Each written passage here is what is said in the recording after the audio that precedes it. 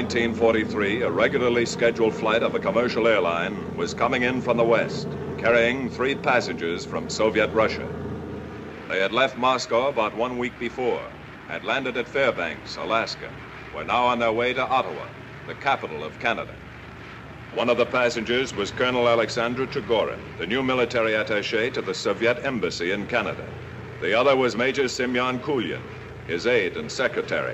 The third was Igor Gouzenko, a specially trained cipher clerk and decoding expert. It was Gouzenko's first time out of Soviet Russia.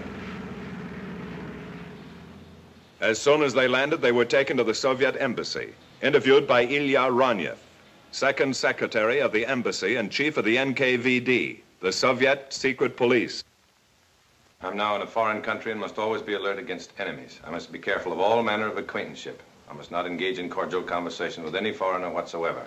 Never borrow money from a foreigner. In my apartment, I must be respectful to neighbors but make no friends. I must never permit myself to be more drunk than either my guests or my host. A sober brain, a firm tongue, and alertness. These things must always be with me when I'm with foreigners. Where were you born? Rogachova. You were in the Red Army? Yes. What branch? Military Intelligence, Cipher Division. I received instructions in coding and decoding at the Secret Intelligence School, Moscow. I'm also a member of the Young Communist League. What is your duty here? Cipher Clerk, Military Attaché's office.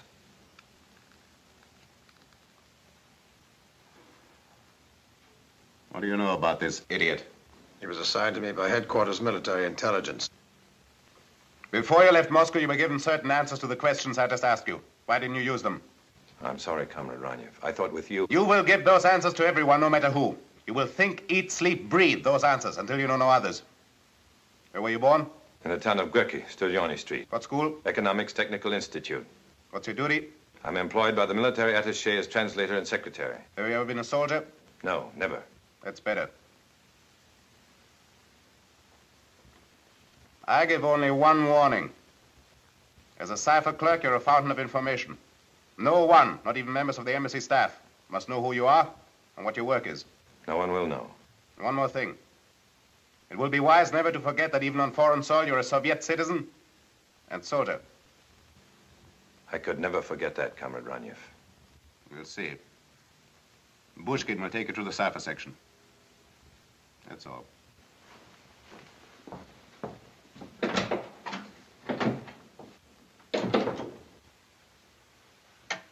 Karanova, come in, please.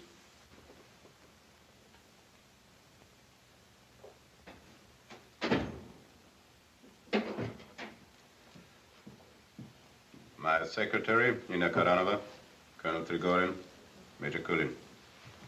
An unexpected pleasure. Will you have dinner with me tonight? Karanova.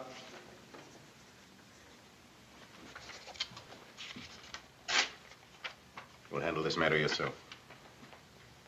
Yes, Comrade Johnny. You haven't answered my question.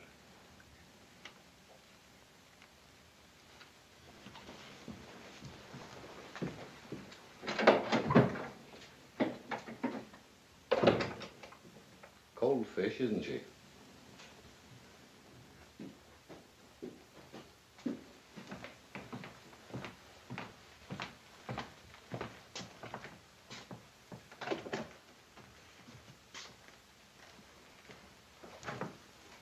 The bell is here.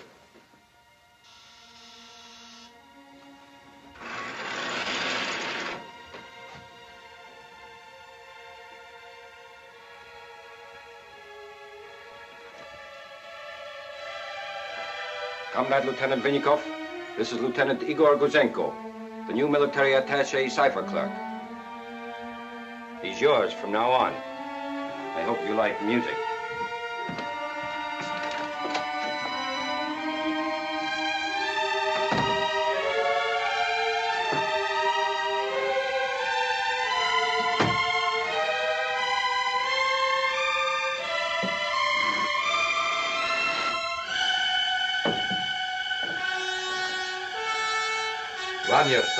Clerk uses that room.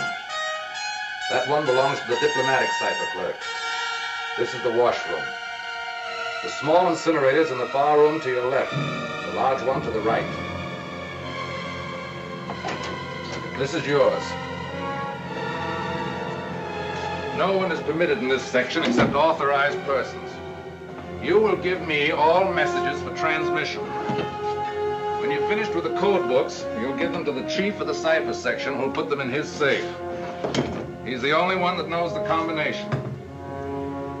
When your day's work is done, every scrap of paper must be burnt. Every drawer and the door of the safe must be sealed with the top secret seal. And don't ask me why the church means top secret. I don't know. You'll take no papers from this room without showing them to me first. And don't ask to have the music turned off. It's a rule. The music must always play, so no one can hear what's being said in the other offices. I hate music.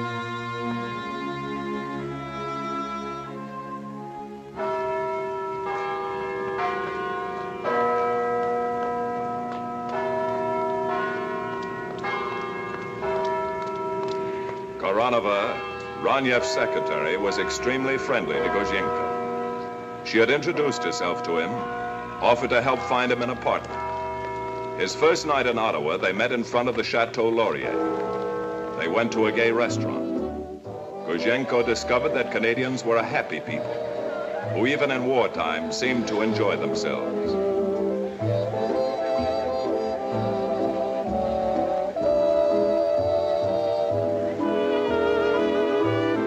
Danced until closing time, and then they went to her apartment. This is your apartment? Mm-hmm. You live here all alone? Alone. This is good enough for a commissar.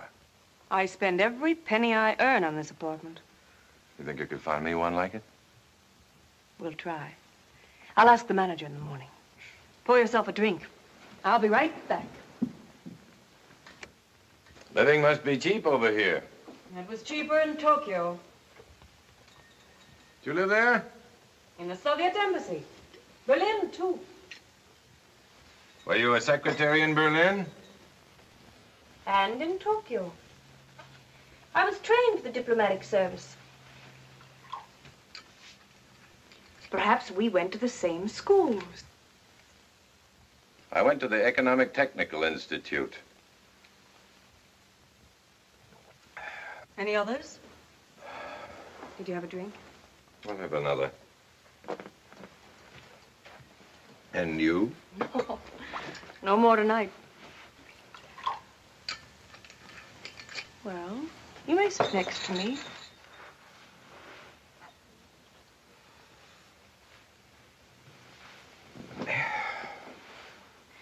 You must be very tired. It Was a long journey. Here, let me make you more comfortable. I might fall asleep. When do you begin work? Tomorrow? Is your office in the embassy? Yes. Oh, good. And we'll see lots of each other. Have another drink? Good, plenty. Oh. Here in Canada, there's plenty of everything. It's always been very quiet at the military attache's office. The arrival of men like you and Colonel Trigorin could promise great changes. Does it? Well, of course.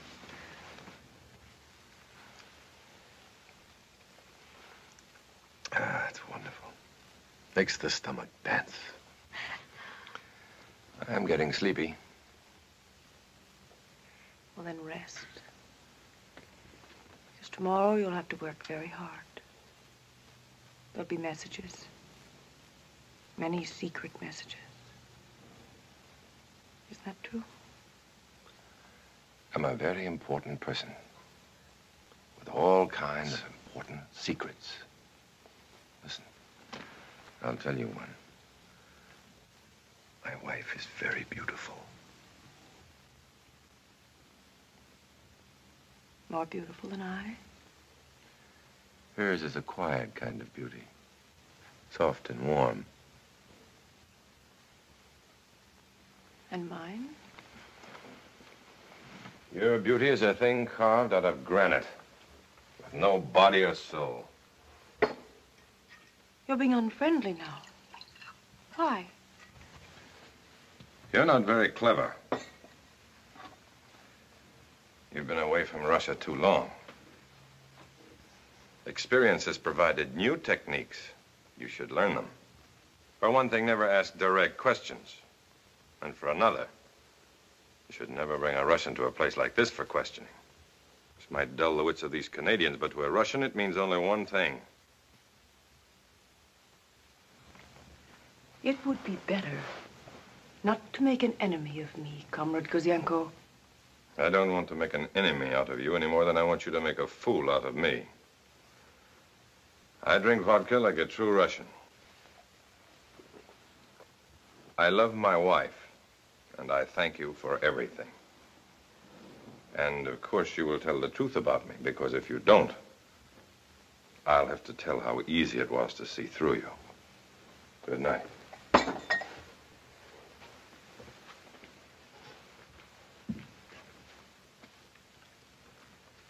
I was born in the town of Gorky on Studiony Street. I was never a soldier.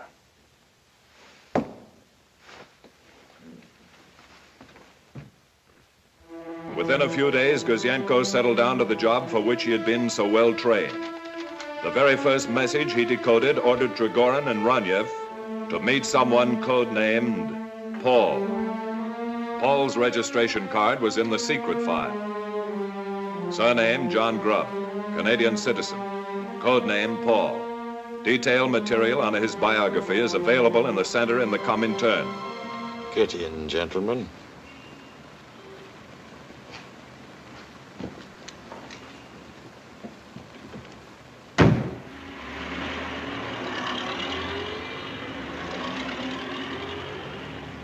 I've been expecting you, Trigorin. Welcome to Canada. It's time, you know. It's time they sent someone competent. Canada's important. It'll be more important when we've won this war. Do you understand that? Did they tell you that? My orders are to build a large organization. A large organization. What's that? A mass of people swarming like bees? Or a few smart ones in the right places? Our requirements are quite extensive. For example, Moscow would like to know what chance there is of getting someone on the general staff level. They're mad. They'll be asking for the prime minister next. Not until his name is John Grubb. Canada is not yet ready for me. You're not dealing with an amateur, Colonel. I founded the party in Canada in 1920. I'm a graduate of the Lenin School. For your information, I take my orders directly from Moscow, not from the embassy. I sometimes need to remind Ranyev of that. No, you need people in the right places. In the Army, the Air Forces, the Navy, the National Research Council, the Department of External Affairs. This is a general list of required information.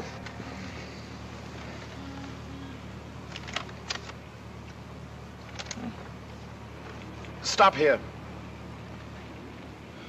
They're asking for a lot.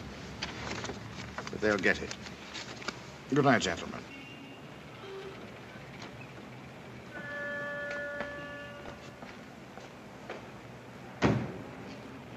House of Commons. Members' entrance.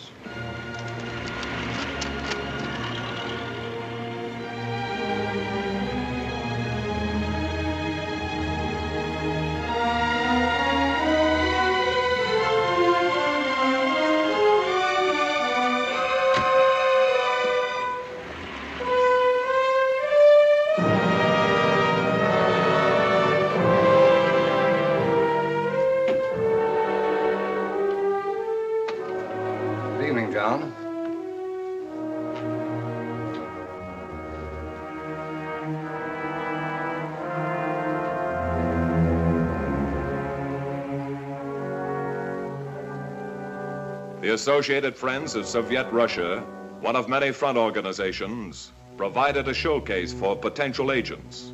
Here, John Grubb could spot those ready for what was called further development. Among them was one Captain Donald Class, a member of the Royal Canadian Air Force, stationed in Ottawa. Now I have no desire other than to see the war quickly concluded with an Allied victory. And the sooner we open a second front, the sooner we will have peace.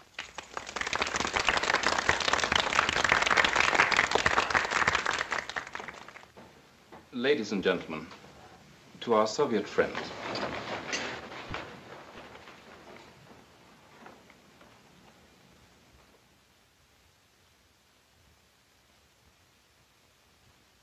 addition to the front organizations, there were small private gatherings known as study groups. Here, communist philosophy and techniques were studied, and the writings of Marx, Engels, and Lenin were read and discussed. John Grubb knew that Donald Class belonged to such a group. He passed Class on to Leonard Leitz. Now it was Leitz's job to see if Class had been mentally developed to the point where he could be of practical service to the Soviet Union. a certain stage of development has been reached, a conventional. I, um, I hope you don't mind my taking you away from Karl Marx, Captain. I know him by heart. Good. I'm glad to see you never miss a study group meeting. I can't think of anything more important. Still editing the military journal? Yes, sir. Your work must bring you in contact with lots of people engaged in secret war projects. Yes, sir. How many of them would you say are sympathetic to us? I've met several at various study groups. Anyone in the National Research Council? Yes. Warren Blair. He's in the radio lab. Will Hollis. He's in radar. Sit down, Captain.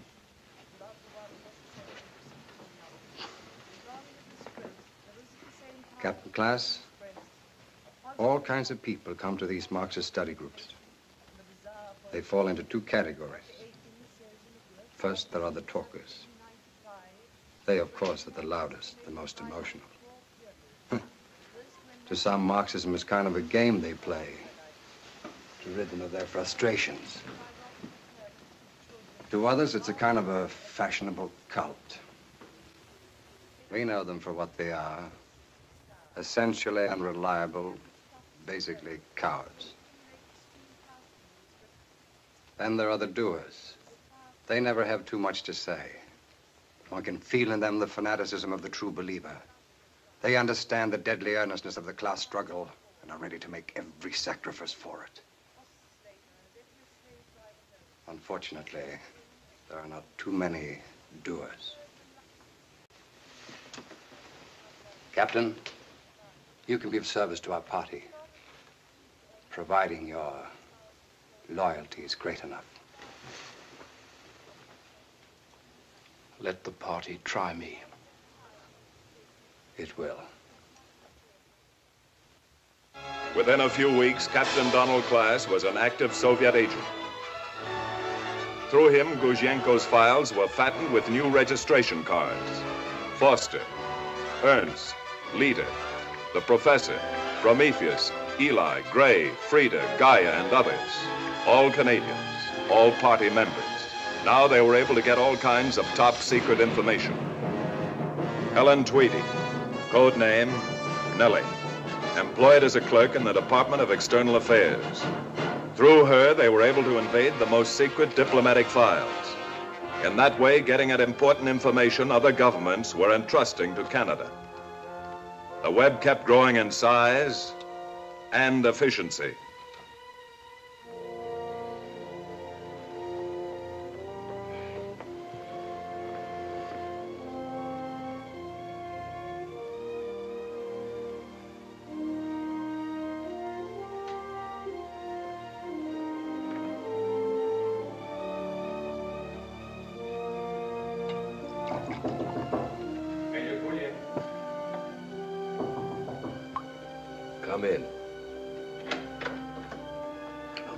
Come. Have a drink. I'm sorry, I haven't got time right now. I've got some news for you. News, news. The world is full of news these days. Well, this is something I think... Don't get excited about it. That's what's important. And don't believe everything you hear. But this just came from Moscow. Ah, then you must believe it. Every word of it. If you don't, Ronyev will get after you. I don't like Ronyev. Watch out for him, my boy. These pencil pushers always make trouble for us soldiers. He doesn't frighten me. Not when I'm drunk. Listen, Comrade Major. Our wives are arriving day after tomorrow. Oh, no. What time? 11.30. If we're lucky, the train will be late. Very late. Comrade Major, my wife will be on that train. Your wife was never a captain in the Red Army.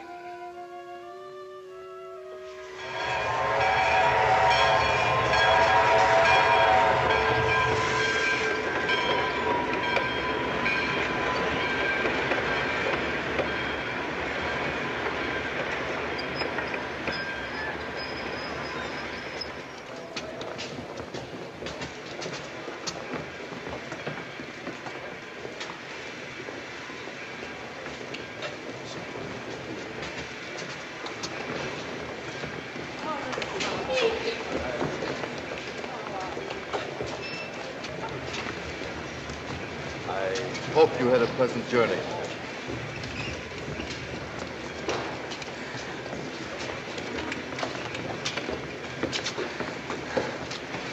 No more till we get to our flat. We have a flat? Three rooms, all our own. No. Yes, three rooms.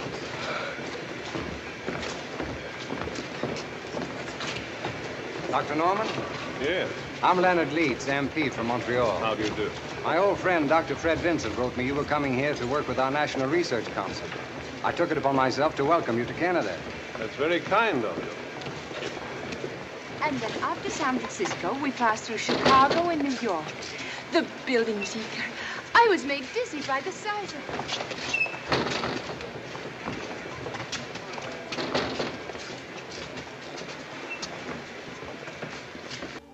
The months passed quickly for the Gouzenkos.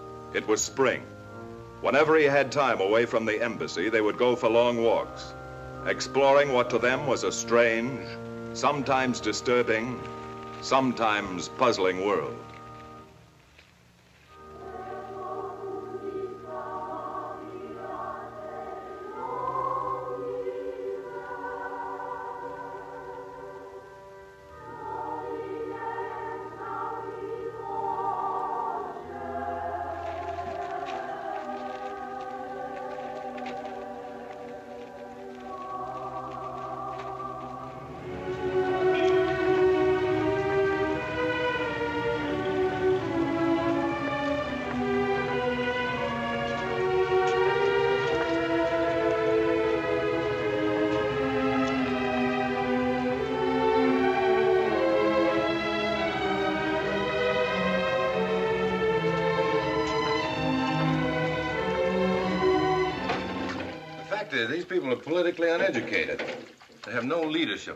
Think.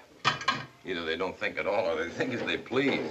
it isn't any wonder they get confused. But you haven't yet told me one thing. Ask me anything. You want a boy or a girl? Here I'm being absolutely brilliant on what's wrong with democracy. Somehow I'm not very interested tonight. Answer my question. Naturally. Everybody wants a boy first. Boys have a better future. They grow up to be men.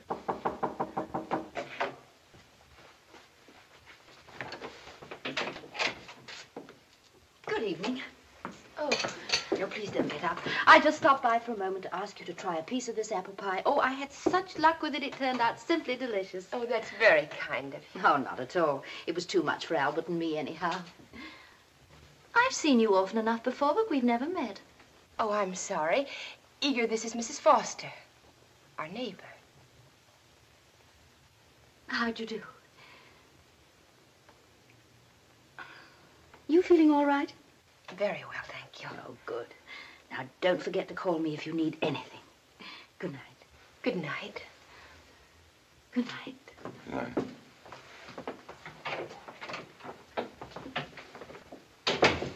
Anna. I can't help it if she wants to be friendly. I'm here all day alone. Anna, She's- you've been told time and time again. We must not fraternize with Canadians. But this is so We won't talk about it anymore. We'll do as we're told. You'll keep that woman out of this house from now on.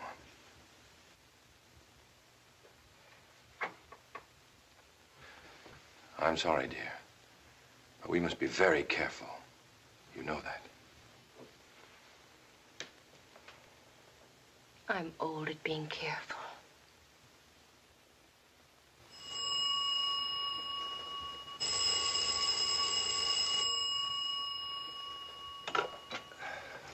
Igor Gouzenko here.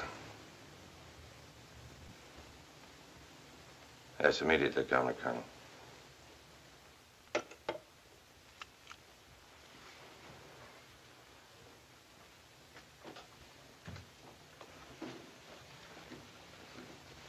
That was Trigorin. He wants me down at the embassy right away. Something urgent has come up, he said. Couldn't it wait until morning? Of course. But it's like the army. You hurry here so you can wait longer there. It's snowing out. Put a scarf around your neck. I'll get a taxi. If I can. Worries me I'm leaving you here all alone. I'll be all right. Are you sure of that? Of course. The doctor said it would be at least a week more. Doctors are sometimes wrong. Stop worrying, Ika. I feel very well. Get your work done and hurry home. I'll keep the bed warm for you. I'll hurry.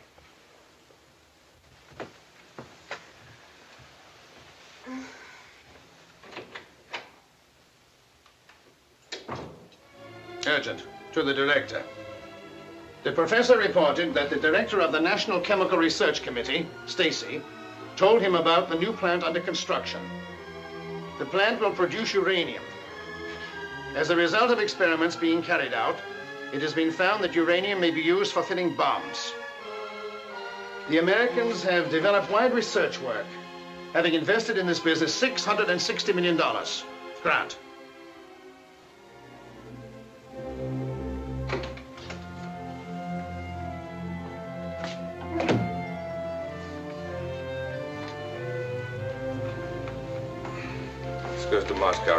Urgent. Everything's always urgent. Especially getting back to bed.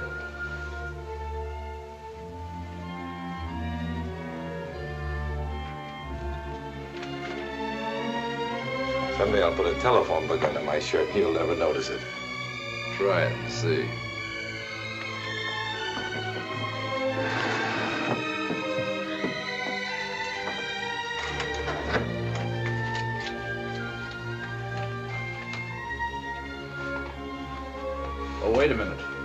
Message for you.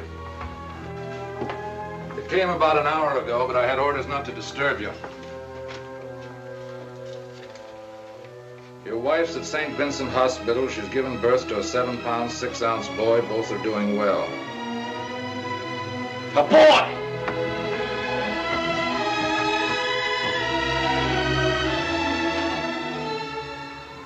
Colonel Trigorin's first uranium message brought an immediate reaction from Moscow.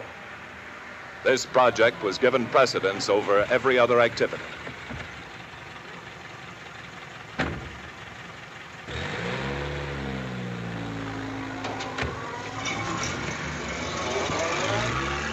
You know a scientist codenamed Alec? Alec? Yes. We met him when he arrived from England some months ago. He's considered a very brilliant scientist. Good. This just arrived from Moscow. Read it. Alec is a very valuable source, and therefore conduct this operation with as great caution as possible. He is a corporant. I consider it best to establish contact through Paul, director. He may be politically confused. He may need re-educating. We can't afford to waste time. The director has given the uranium project top priority. I'll take care of it myself. What's his code greeting? Best regards from Michael.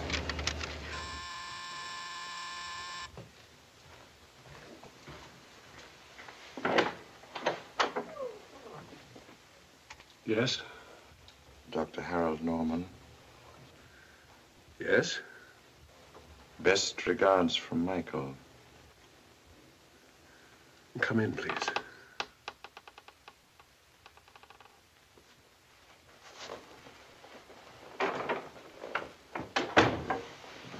Who are you? I am Paul. And you are Alec.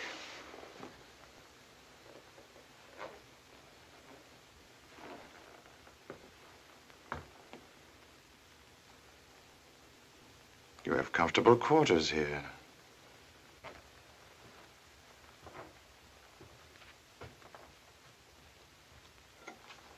You can't look at those papers. They're top secret. I wouldn't know what they meant if I looked at them all night. But you do. That's why I'm here. There's nothing I can tell you.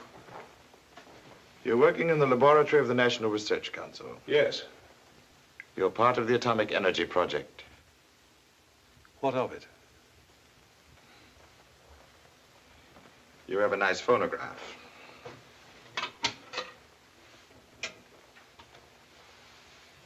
And Shostakovich.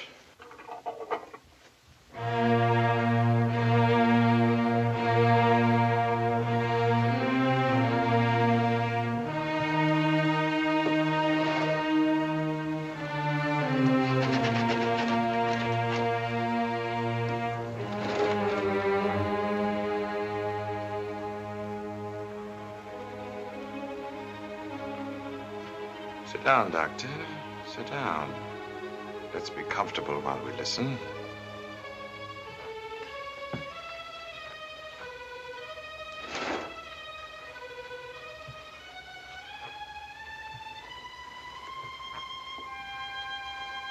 Beautiful, beautiful.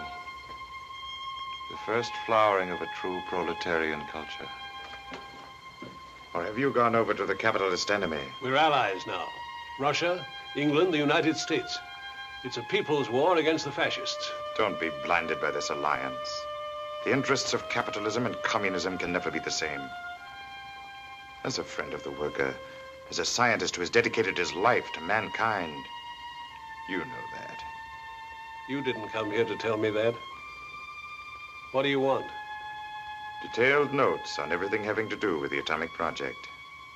Samples of uranium. Impossible. We're too closely watched. This is the most secret project in history.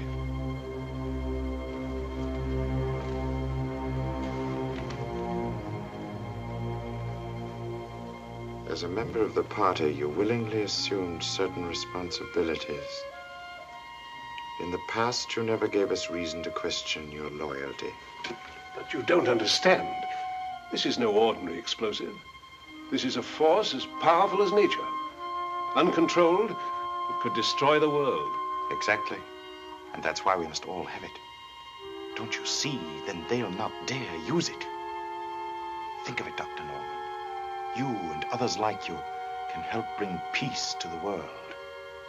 Peace and a chance for decent people to build a new, free world. You can't refuse, Dr. Norman. It will be your contribution to the safety of mankind. The safety of mankind.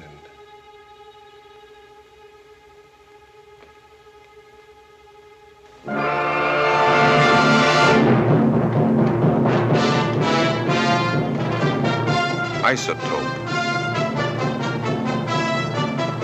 Neutron. Plutonium. Chain reaction. Fission. These were new words to Gouzenko. Words belonging to an atomic age being born in the laboratories of Canada and the United States. Dr. Norman worked at all of them. Oak Ridge in Tennessee, Hanford in Washington, Chalk River in Petawawa in Canada. The new words were in his report to the Soviet military attaché. Shortly after Germany collapsed, Dr. Norman provided Colonel Trigorin with 10 pages of detailed information on the production processes of the atomic bomb. As a sample, he also handed over a platinum with 162 micrograms of uranium-233. This atomic information, still classified as top secret, was considered so important it was carried by hand to Moscow.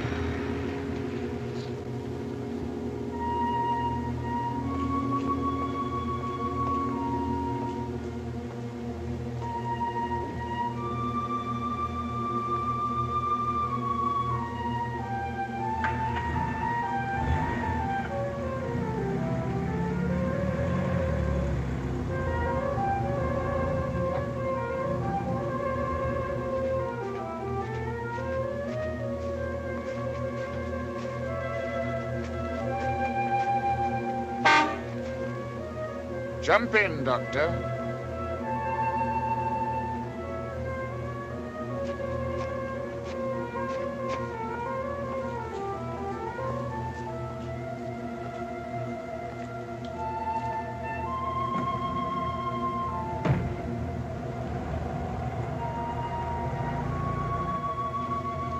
I told you I'd call you uh, when I had something.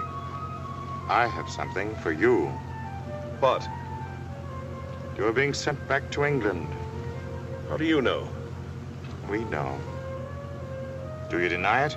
No. I, uh, I just heard it myself. I was going to tell you. In a few days, you will receive further instructions about contacting one of our men in London. You will give him any additional information you have, and all the new information you will get. I've done about all I can. This whole business is extremely painful to me. You're becoming a sentimentalist, Dr. Norman. You will receive further instructions within the next few days.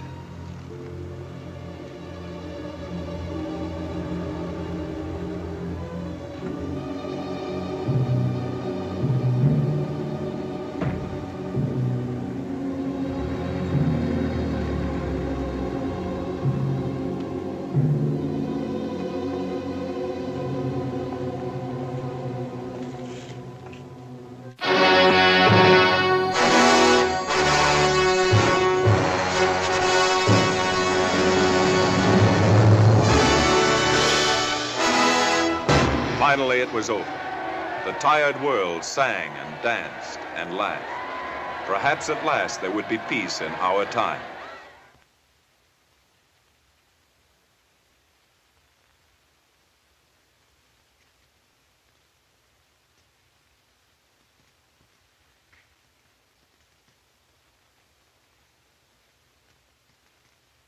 There must be no misconception about our relations with our former capitalist allies. Our interests can never coincide. Our roads and aims are quite different. We have no place for bourgeois sentimentalism. Only relentless realism. The class struggle will continue until this decadent, plutocratic democracy is as completely destroyed as National Socialism. Therefore, you, the representatives of the Soviet Union in Canada, will as always remain vigilant, suspicious, and aloof. That will be all.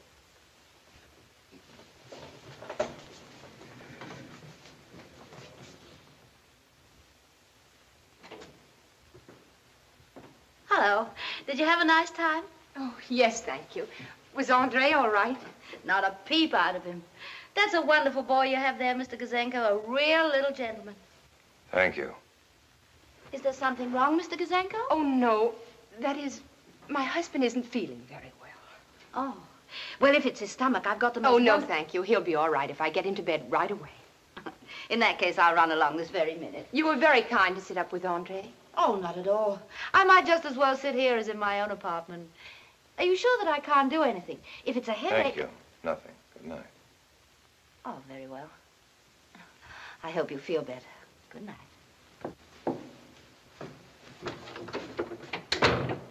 Anna. What could I do? You telephoned me at the last moment. Tell me I must come to the embassy immediately for a special meeting. I can't leave Andre alone. Somebody must look after him. Be grateful you have kind neighbors.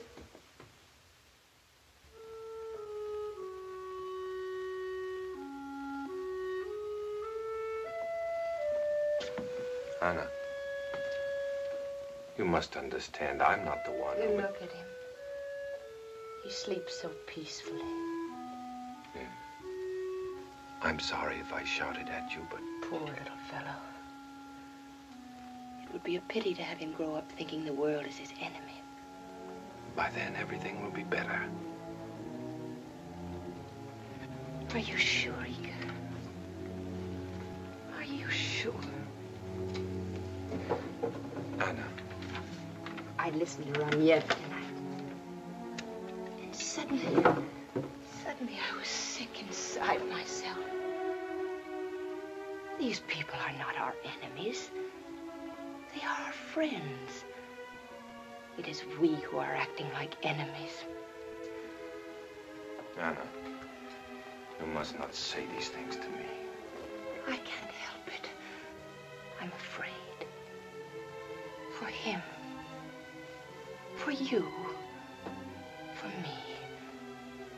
Before I came here, I, I believed everything. Now I, I can't even understand. We're simple people, Anna. We can't understand everything. We must have faith in our leaders. We must understand, Igor. We must.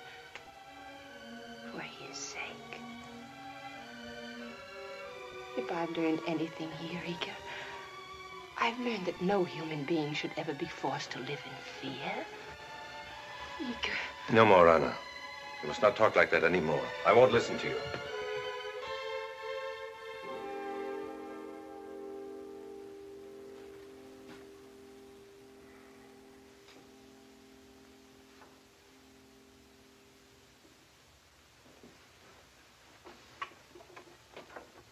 Wave of jubilation and thanksgiving sweeps the cities of the land at the news of Japan's surrender.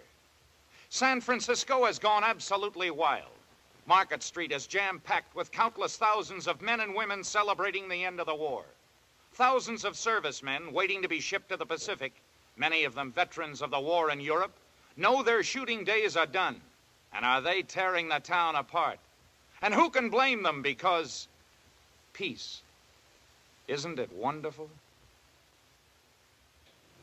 To Grant, take measures to organize acquisition of additional documentary materials on the atomic bomb.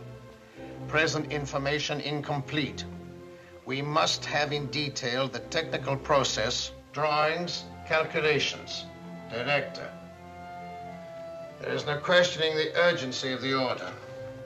We are doing what we can. It's not enough. You will contact every agent and alert them for atomic information. That's all. Gouzenko will remain.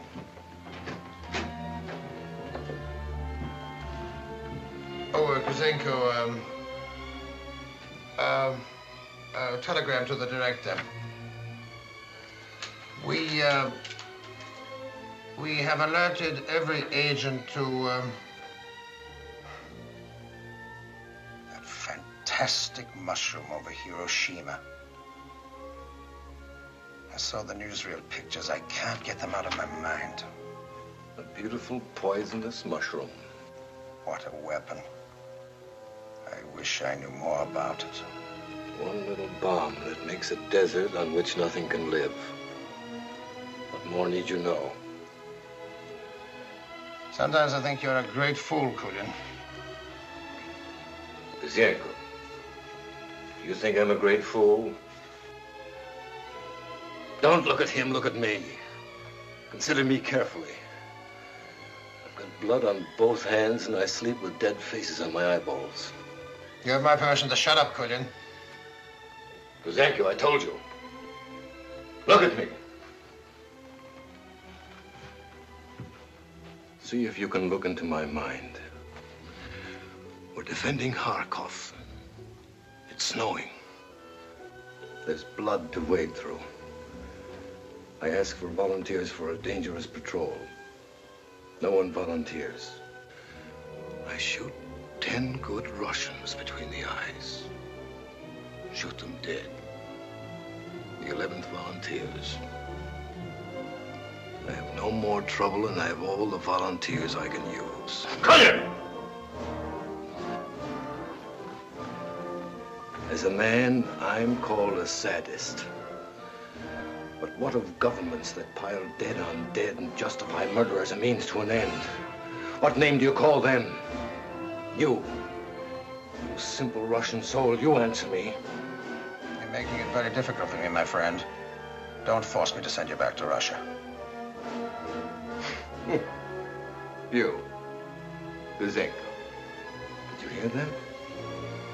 The threat of threats to be sent back to Russia. Why should it have such an ominous sound like the ring of mourning bells or the executioner's volley? Why? Why? You figure it out. Why? Why? Go to your quarters. Consider yourself under arrest.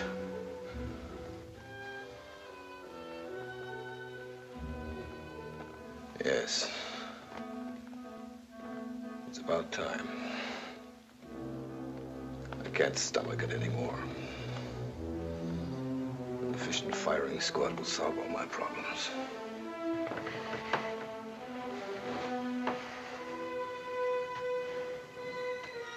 Takes too long to drink oneself to death.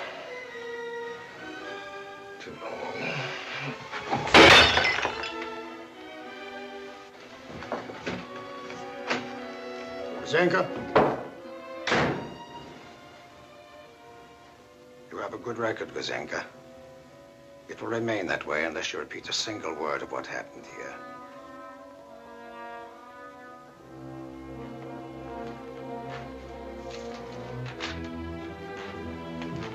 File this.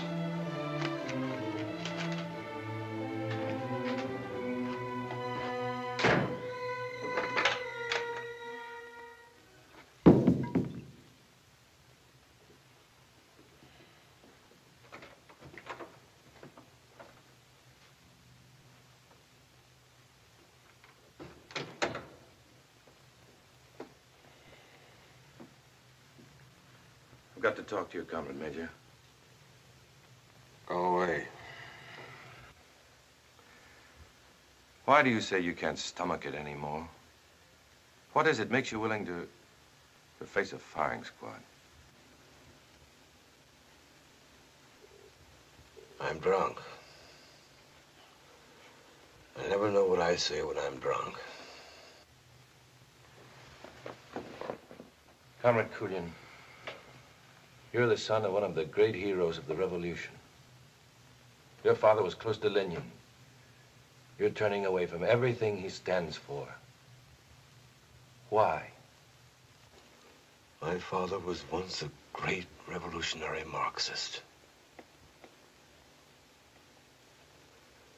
Today, he pays for a living by saying what he's told to say.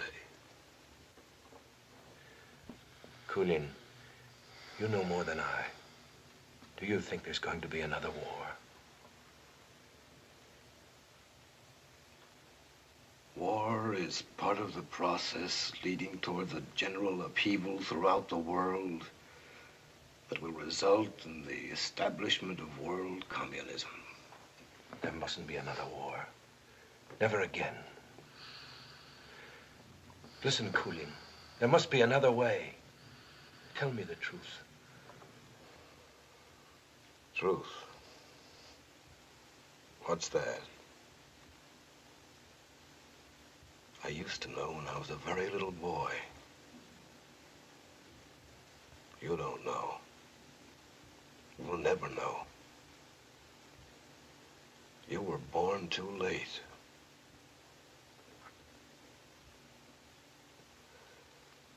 It's enough to make even the saddest cry. Listen to me. I've got a son, and I want to do what's right. Go away, you simple Russian. They'll send you back, too, if they catch you talking to me.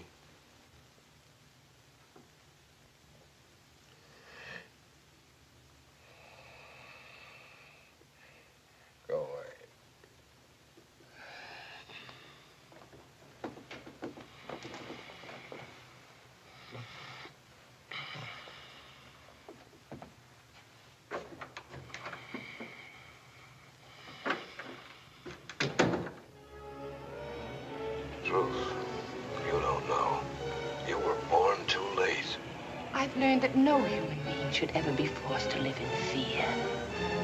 Our roads and names are quite different. The class struggle will continue. These people are not our enemies. Don't force me to send you back to Russia. Today, he pays for living by saying what he's told us. He must understand, Igor. What of governments that pile debt on dead to justify murder as a means to an end? Sometimes I think you're... Contact every agent on Earth for atomic annihilation. Our roads, our interests can never. The class Sometimes I think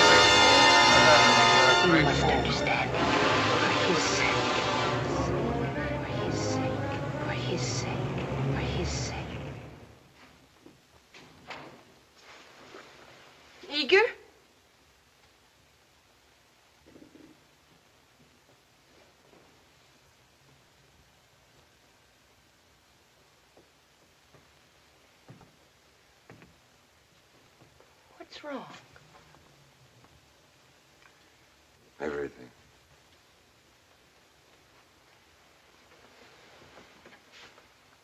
I was just talking to Kulin. Sending him home, remember? That was bound to happen. He drinks too much. He drinks to forget Forget what? himself, his father. Once Kulin had great respect for his father.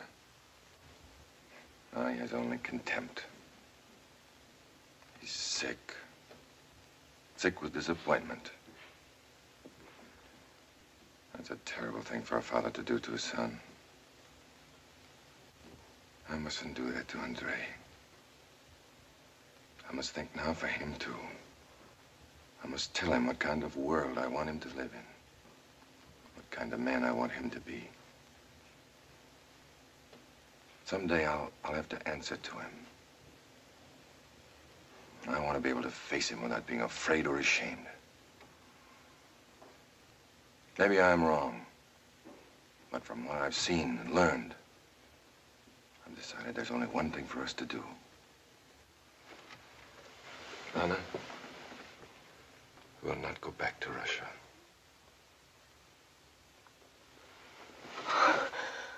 Oh. In the weeks that followed, Gouzenko formulated a plan. He selected certain key documents from his secret files, very carefully marked each one.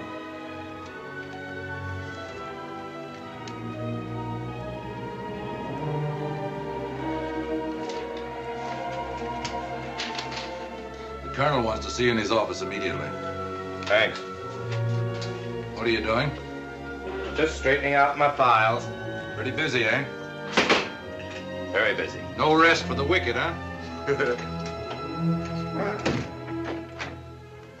Igor, my old friend, I'm glad to see you. Sergeyev, when did you arrive? Today? Sergeyev is your replacement. You are returning to Russia. Immediately? As soon as you have shown Lieutenant Sergeyev everything he should know, you will work together from now on. Yes, Comrade Colonel. That's all. Comrade Gouzenko. I hear you're going home. Yes? Are you happy? Why shouldn't I be happy? You might at least introduce me, Igor. He's not very polite, is he? Comrade Sergeyev, Comrade Karanova. We will see more of each other, I hope. You will.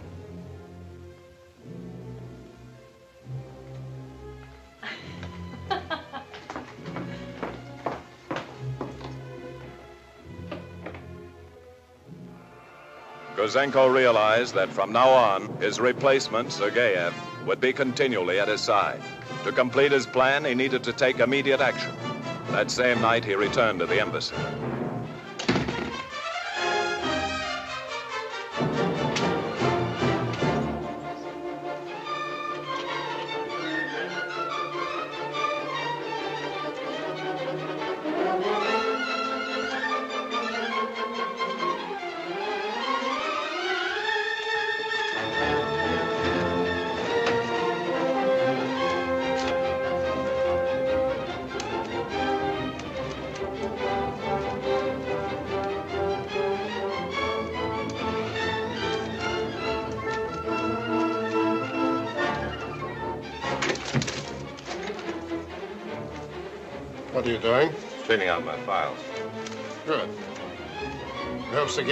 Efficient as you.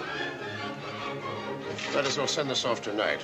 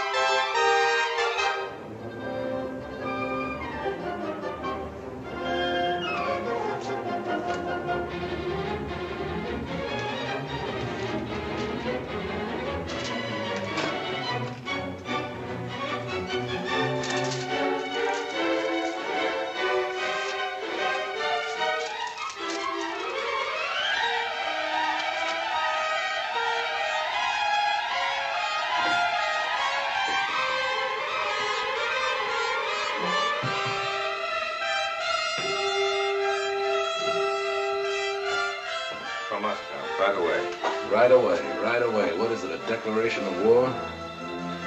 You get grumpier every day. I need excitement. Then why don't you lock up the place and come and see a movie with me? Nobody will know the difference. Except you.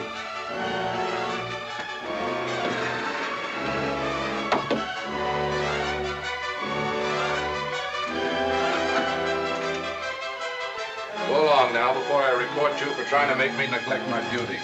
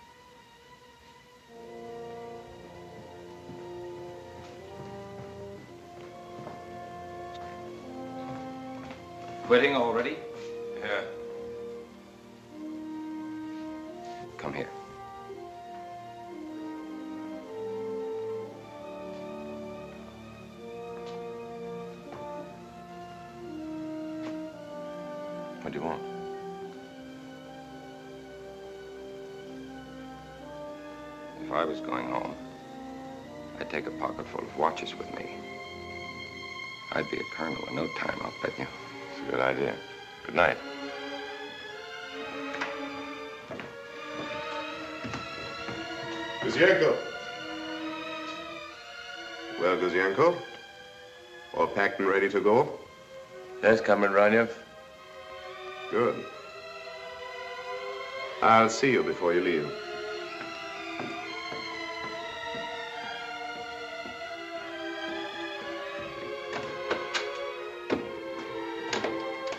Gouzenko went directly to the Justice Building. Convinced that the information he carried must go to the highest level of government, he was determined to see no one less than the Minister of Justice.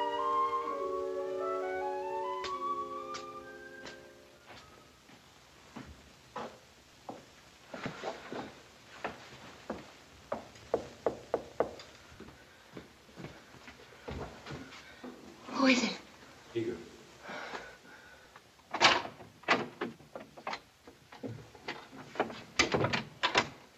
I went to the Justice Department. There was nobody there but a sentry.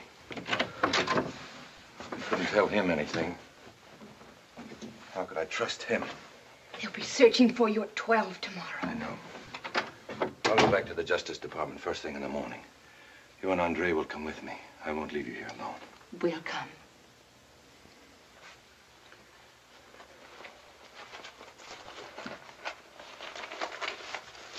Those? Diaries. Cables to and from Moscow.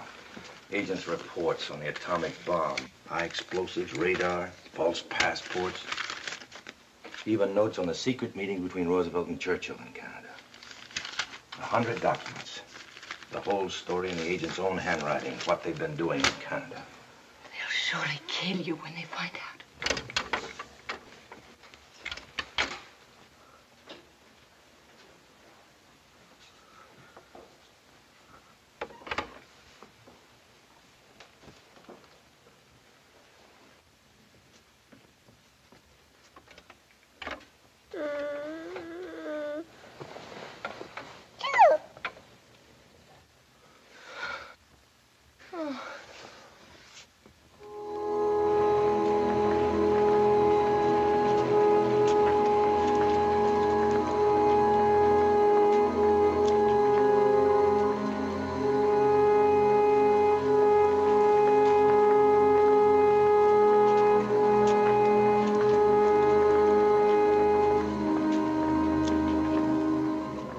Tell you, the minister will not see you unless you tell me what. But you must understand, please.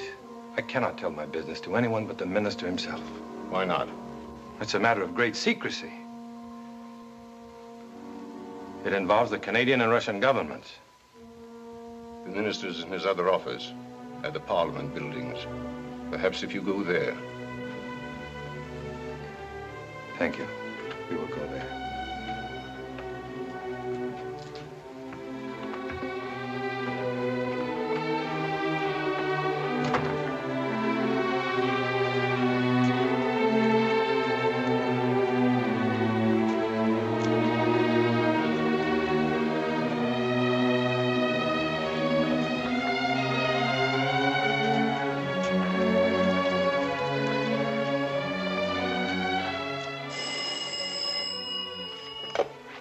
To go in here. You've telephoned his apartment? Strange. Call me when he gets in. Hello, Danyev? Gouzenko is late for work. And it's after two. Please, we've been waiting for two hours. Time is important. I'm terribly sorry, but the minister is running way behind with his appointments. If you can come by tomorrow, we may be able to fit you in somewhere.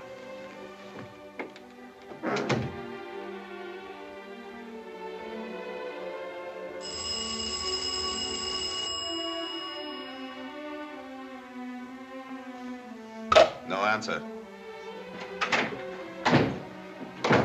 I'm afraid there are documents missing from the files.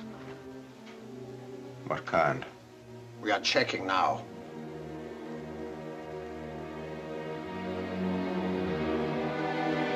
Gouzenko was beaten. His story was too big, too incredible. If the Canadian government would not listen, then he had risked everything for nothing. Then suddenly he remembered what he had learned about the Canadian newspapers, their independence, their freedom. They were his last hope.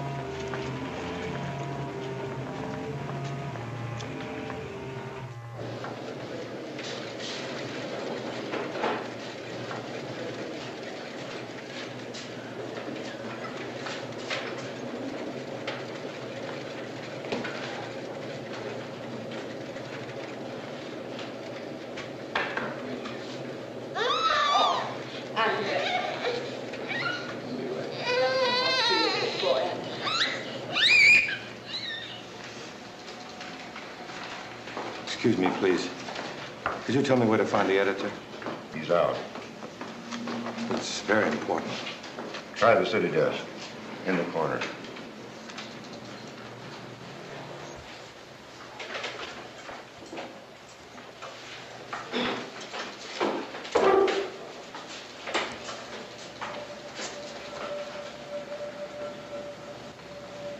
I have some very important information for you. Sit down. No, thank you. I'm from the Russian embassy. I have some papers here that will prove Well, go ahead. I can listen to you at the same time. some papers that will prove that Soviet Russia is operating a spy system in Canada. Go ahead. This document will prove that one scientist working on the atomic bomb is giving information to the Soviet military attaché. There's no time to lose. Already they're looking for me. You must print these right away. Before they kill me. Sure. Before they kill you. Your life's in danger, isn't it? Well, you take that stuff to the Royal Canadian Mounted Police. They'll take care of you, and those Russians, too. But the Canadian people should know as soon as possible what they, what, what these people... Of course they should. But there's nothing I can do with this. You must do something. It's for the safety of your country. Have you been to the Justice Department? Yes. They wouldn't see me. Sorry. The government won't touch it. I guess it's too big for us to... Excuse me.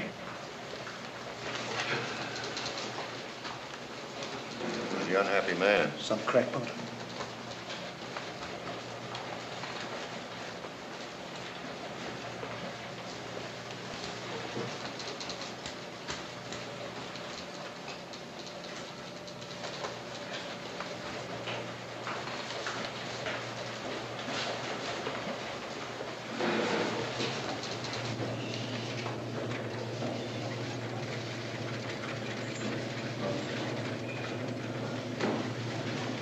What happened?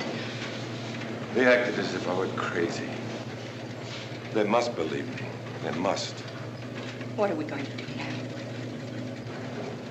Go home and pack.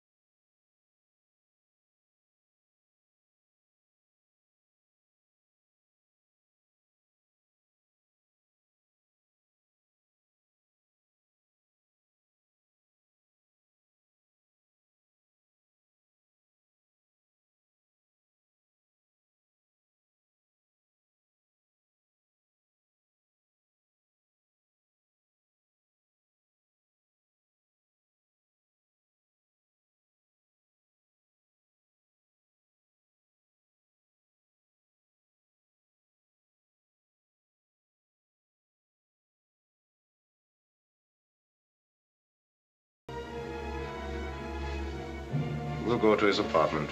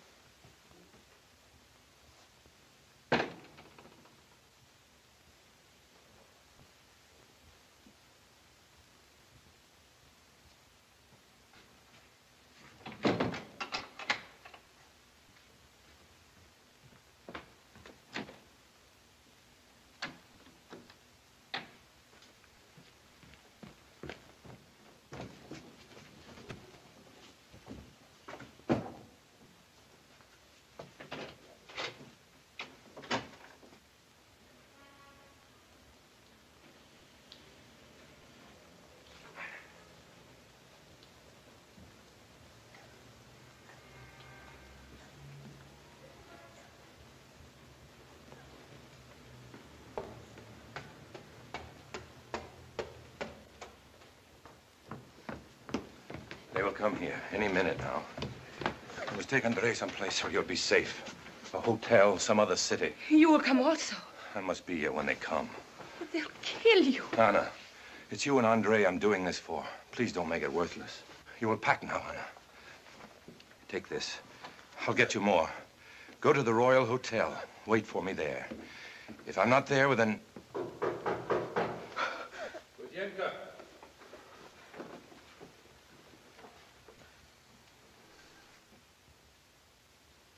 Gouzenko.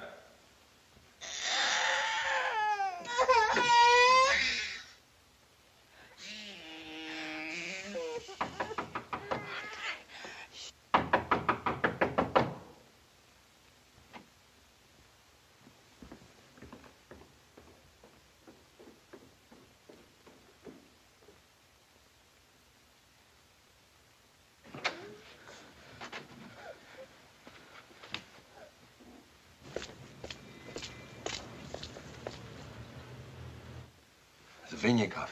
Has he gone? Anna, we won't be able to leave now. Come with me. Hurry.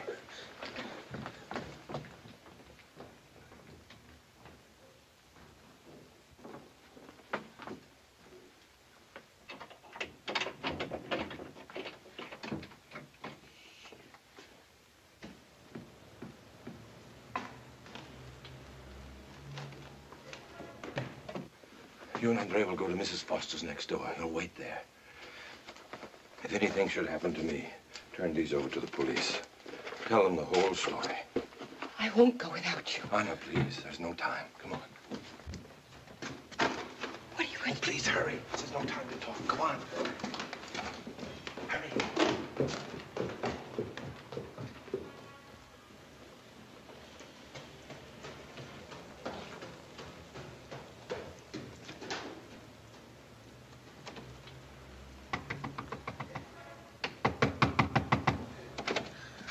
Hello there. Go in. Go in.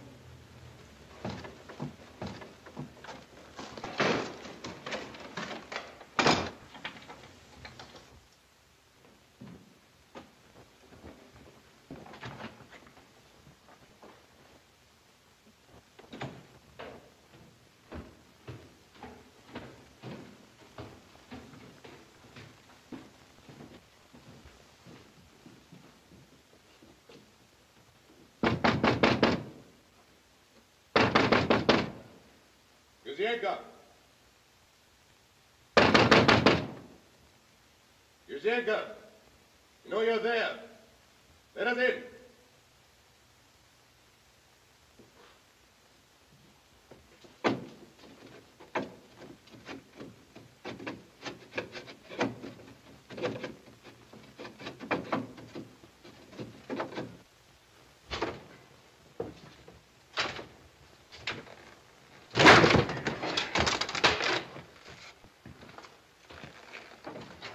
Good Gouzenko. Sit down.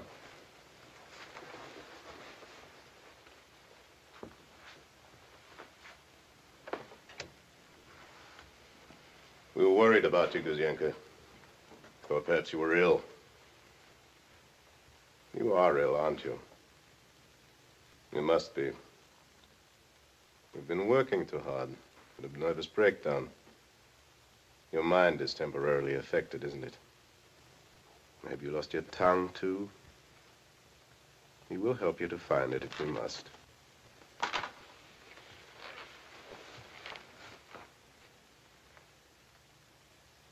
Your mind snapped, that's what happened. Didn't want to leave this lovely apartment. This plenitude of food. This easy living. Couldn't face going back to Russia. And so your mind snapped, didn't it? Don't be stubborn, Gouzenko. You need only to return the few unimportant papers you took from the files while you were so upset. It'll be all forgotten. I haven't got the papers. Where are they? Comrade Colonel, you must be patient with a person who is sick. You see, Gouzenko, we don't want to harm you. We understand. Now, where are the documents? Are they here? Search. Stand up. Trigorin, Must I remind you you're speaking to a sick man? Help Pushkin, please.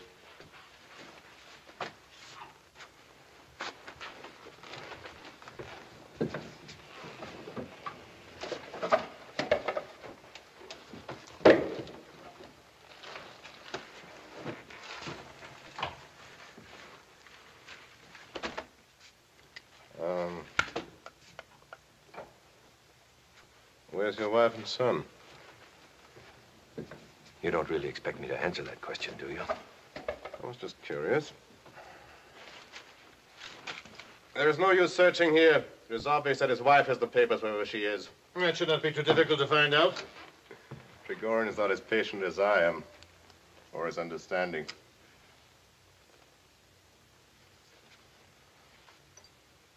Perhaps it would be better if we all go to the embassy. I'm not going to the embassy, Ranyev. I'm not going anywhere outside this house. Alive. You are sick, aren't you? Sick, maybe. Sick like Major Kulin was sick.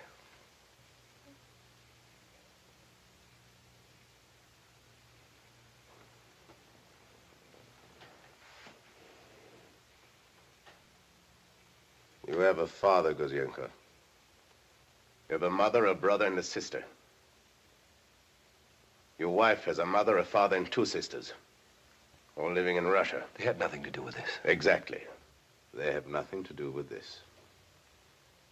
And yet, you didn't think of them, did you? You didn't think of what might happen to them.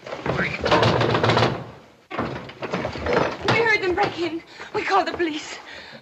What's going on in here? Who are you? We are from the Soviet embassy. Uh, Gouzenko is one of our employees. He was recently ordered to return to Russia, but he decided to disobey orders and desert. Naturally, we couldn't permit that. We came here to. to reason with him.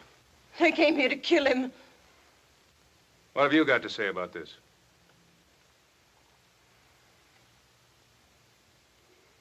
What's happened to you?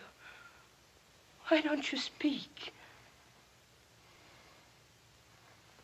Anna, go get the documents.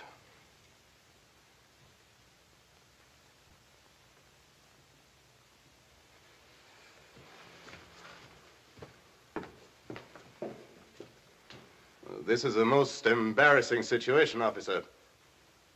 As I've told you, this man is a Russian national who refused to return to his homeland.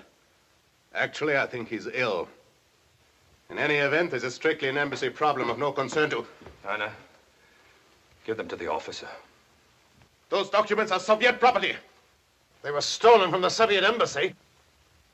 I must warn you. Unless you return those documents immediately, I shall be compelled to report you to your government. Well, this is kind of getting over my head. I, I, I don't know. Officer, those are not only papers. They're a death warrant. When I gave them to you, I sentenced myself and my family and my wife's family to execution. We must all die sooner or later, so it doesn't really matter. It's how we die and why we die that's important. Take them away with you. And take my wife and child. This man is insane. As a representative of the Soviet government, I demand that you hand me those documents. You say they were stolen? Yes. Stolen property must be identified and claimed at police headquarters. That's the law.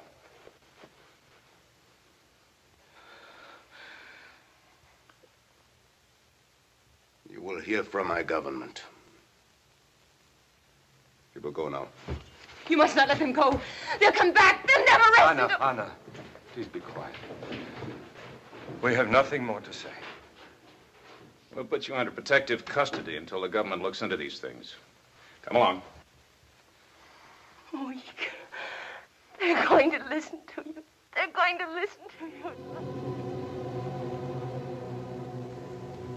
You run out, you admit guilt. That puts the whole party on the spot. You've got to fight this thing from the floor of Commons. Use every parliamentary trick you know. You've got to stir up the front organizations, the sympathetic newspapers and periodicals. Start them howling about forgeries, about witch hunts, about violations of democratic rights. That's fine. What if they send me to prison? You'll be a martyr. By the time you get out, you'll be a hero. And will you be a hero along with me?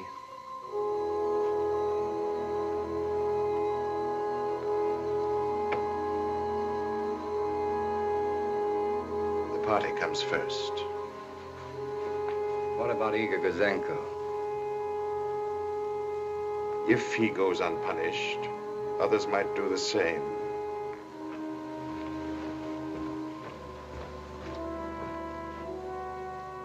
Don't be too unhappy, Leitz. We'll name a city after you. When we take over,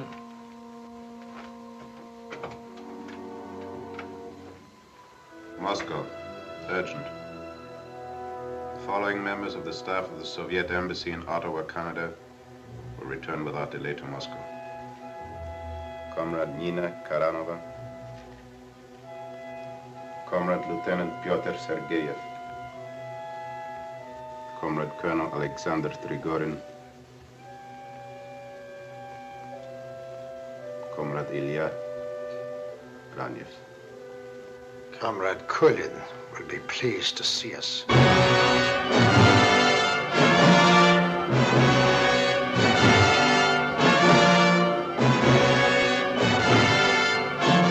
Leonard Leitz found guilty, sentenced to six years. Helen Tweedy pleaded guilty, sentenced to three years. Donald Class found guilty, sentenced to five years. Dr. Harold Preston Norman pleaded guilty, sentenced to 10 years. William W. Hollis found guilty, sentenced to four years. Of the 18 arrested, two pleaded guilty, and eight were convicted. Today, Igor Gouzenko and his family live somewhere in Canada. By special act, a grateful country has granted them all manners and liberties, franchises and privileges of our Dominion of Canada, and may use and enjoy same freely, quietly, and peaceably as British subjects. but they cannot enjoy these rights. Their lives in danger, they live in hiding under the constant protection of the Royal Canadian Mounted Police. Yet they have not lost faith in the future. They know that ultimate security for themselves and their children lies in the survival of the democratic way of life.